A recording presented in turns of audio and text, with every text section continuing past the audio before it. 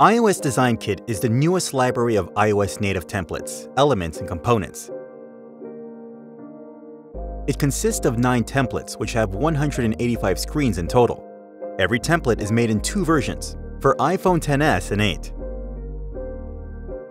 The screens are divided into the most popular App Store categories Shopping, Messenger, Social, News, Task Manager, Finance, Travel, Fitness, and Education iOS Design Kit is based on principles and styles described by Apple in Human Interface Guidelines.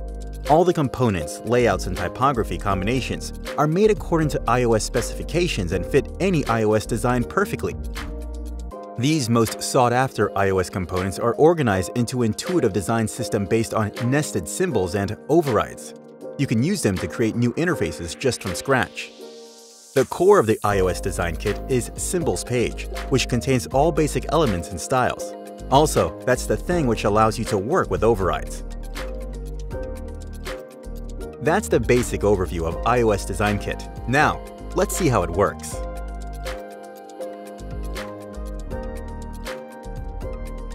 Let's start customizing Colors palette. Choose a color you want to change and then jump to Appearance panel. Here, you can find all the predefined colors. You can quickly change any of them. Just choose a color you like and click Update Layer Style. Changes will be automatically applied to all elements. You can customize icons color exactly the same way. Pick an element, choose a color, and then click Update Layer Styles. Here we go! We've just repainted all icons by doing a few clicks.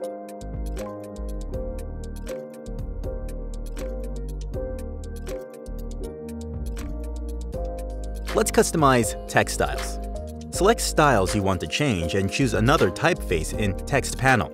Then, jump to Appearance panel and click Update Text Style. Changes will apply to all text styles automatically. Let's recolor blue accent color to the pink one. Again, change and click Update Text Style. Here we go!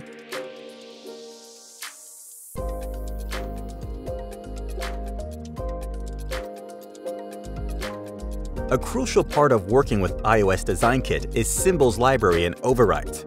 With this fantastic feature, you will be able to customize every component and element quick and easy. Let's see how it works.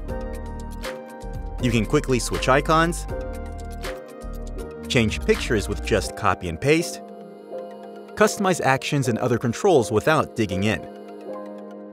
The greatest thing about it all is that you're able to do it right from the Overrides panel.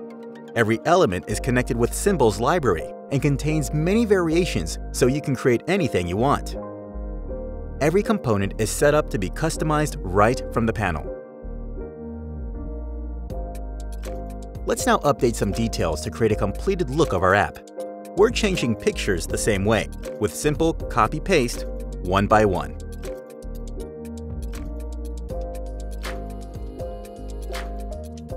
Then we're changing the title and adding controls.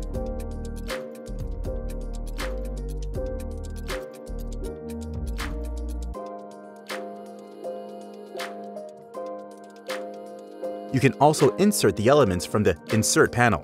Click Insert and explore the huge library of elements that iOS Design Kit offers. For example, this button